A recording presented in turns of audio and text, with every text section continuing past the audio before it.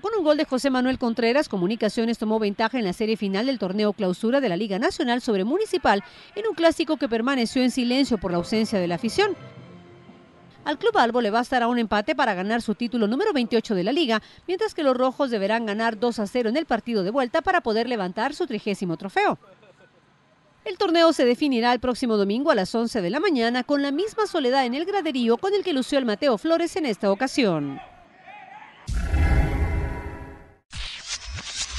Publinews, lo más importante de las noticias, un diario internacional de Metro y del grupo Emisoras Unidas, 50 años.